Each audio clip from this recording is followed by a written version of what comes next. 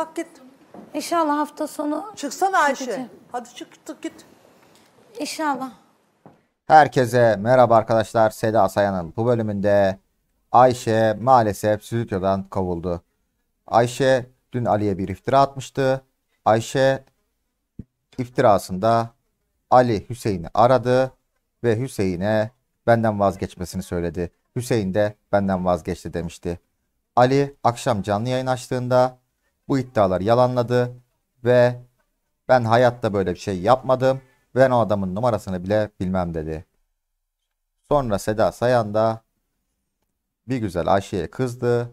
Hatta Ayşe'nin kayınvalidesi Zeynep Hanım stüdyoya canlı yayınla bağlandı. Ayşe'yi istemediğini söyledi ve bir daha asla görmek istemediğini hatta çocukları da istemediğini söyledi. Seda Sayan da bu sözler üzerine Ayşe'ye bağırarak kalk git çocuklarına bak, işe gir ve git polis eşliğinde çocuklarını al dedi. Bizi izlemeye devam edin.